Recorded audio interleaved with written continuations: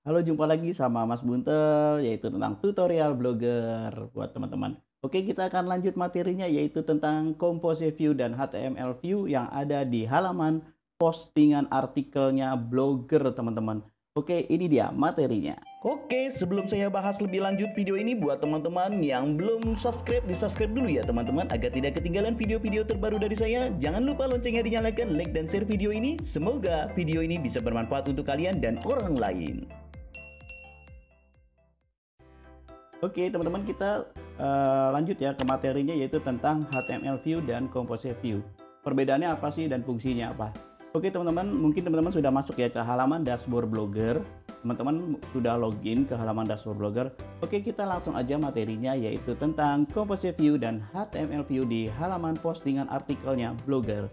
Oke ini dia materinya. Oke teman-teman saya langsung aja ya teman-teman langsung ke salah satu postingan saya ini saya buka dulu saya edit dulu ya teman-teman oke nah ini adalah salah satu postingan yang ada di blog saya teman-teman nah di sini paling pojok sini ada gambar pensil teman-teman di pojok atas paling kiri itu ada gambar pensil nah di sini ada HTML view dan compose view Nah, fungsinya ini apa sih teman-teman? HTML view itu atau compose view itu? Nah, teman-teman tinggal klik saja. Ini masih berbentuk artikel atau tulisan bentuk fontnya seperti ini ya teman-teman nah ketika kita mau merubahnya dengan HTML view maka dia akan berubah bentuknya tidak ada gambar tapi berupa kode-kode teman-teman kita coba ya kita klik HTML view Nah, di sini teman-teman akan berubah ya tulisan teman-teman. Artikel teman-teman ini berubah menjadi kode-kode HTML di sini teman-teman.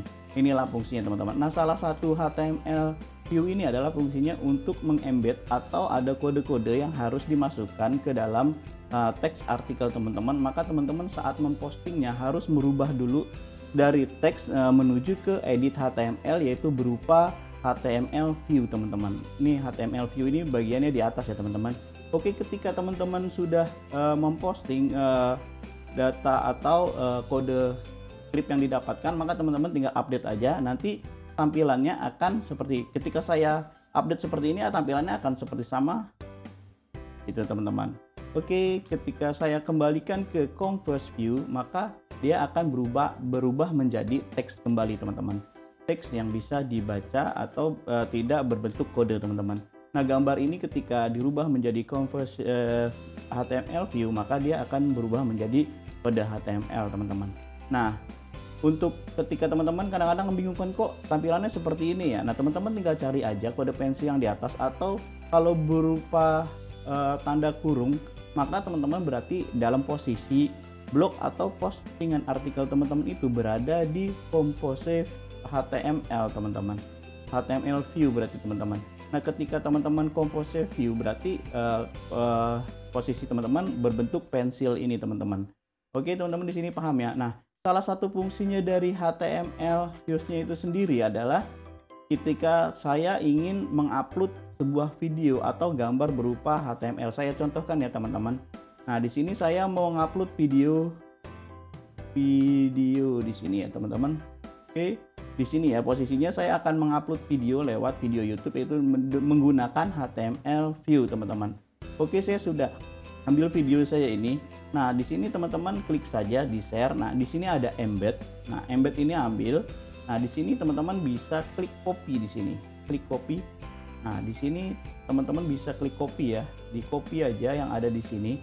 Teman-teman bisa langsung teman-teman menempelkannya di sini teman-teman. Tapi ini dirubah dulu ke dalam bentuk uh, eh, HTML views teman-teman.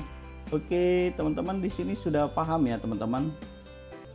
Oke, teman-teman saya langsung uh, ini aja ya, langsung saya paste di sini tempatnya tadi ya di sini posisinya. Oke nah ini udah bentuk dari HTML view videonya teman-teman. Nah video ini akan muncul atau tidak? Nah teman-teman ketika mengambil script ini di sini posisinya teman-teman di script embed. Nah di embed ini teman-teman tinggal copy saja teman-teman. Oke nah di sini kita lihat ya kita preview dulu hasilnya. Kita lihat preview apakah muncul video saya teman-teman Nah, muncul teman-teman di sini videonya sudah muncul ya teman-teman. Video saya yang tadi saya upload video YouTube. Nah, ini dari web YouTube ya, teman-teman. Oke teman-teman di sini sudah paham ya untuk apa sih fungsi dari embed view dan nah saya mau kembalikan lagi ke compass view maka dia akan ada sebuah tampilan video teman-teman di sini ya Oke teman-teman nah ini adalah uh, hasil dari tadi uh, HTML view teman-teman. Ketika di compass view uh, eh, HTML view maka dia akan bentuk kode. Nah compass view maka dia akan bentuk video seperti ini teman-teman. Oke sampai sini paham ya teman-teman fungsi dari HTML view dan compose view. Oke begitu aja teman-teman dari saya. Dari saya mungkin sekian saja uh, tentang tutorial blogger tentang pemahaman HTML view dan compose view Mudah-mudahan bisa bermanfaat untuk teman-teman dan orang lain video saya. Jangan lupa di share ya videonya teman-teman agar bermanfaat untuk orang lain. Dan jangan lupa di subscribe, like, dan komen video ini. Dan jangan lupa teman-teman menyalakan tombol loncengnya agar tidak ketinggalan materi-materi dari saya yang berikutnya. Oke, sekian terima kasih.